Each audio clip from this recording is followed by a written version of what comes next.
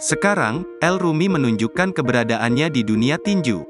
Ternyata, kemenangan El Rumi dalam tinju berhasil membuat Ahmad Dhani merasa bangga dengan putra keduanya itu.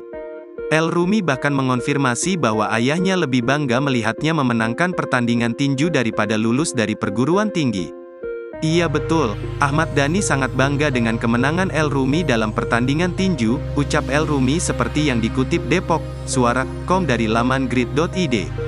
Ternyata, itu yang membuat El Rumi terlibat dalam olahraga tinju lebih awal daripada melanjutkan pendidikannya.